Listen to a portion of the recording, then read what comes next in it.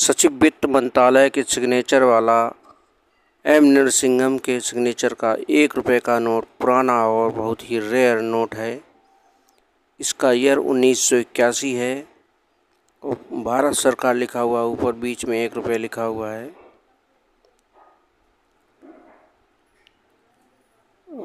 इसके पीछे सागर सम्राट का चित्र बना हुआ है, जिसके द्वारा भारत में तेल के भंडारों को समंदर के अंदर खोजा जाता है। जय हिंद जय भारत।